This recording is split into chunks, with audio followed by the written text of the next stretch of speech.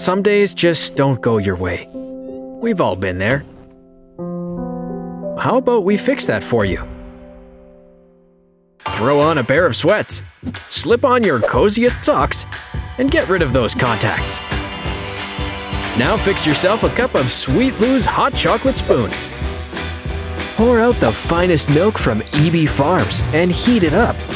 Oh yeah, that's creamy. Now drop the spoon in and stir.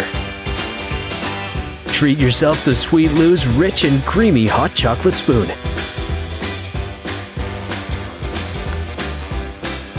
It's good, isn't it? Sweet Lou's, sharing little moments of delight